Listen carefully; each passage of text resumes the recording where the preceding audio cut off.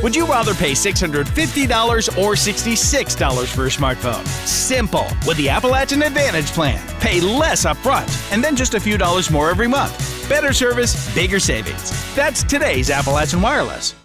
We seldom see uh, cocaine or heroin or anything like that now. It's almost always crystal meth. And we kind of notice in our indictments, uh, give you a little perspective, in first quarter of last year, I think there were 72 indictments.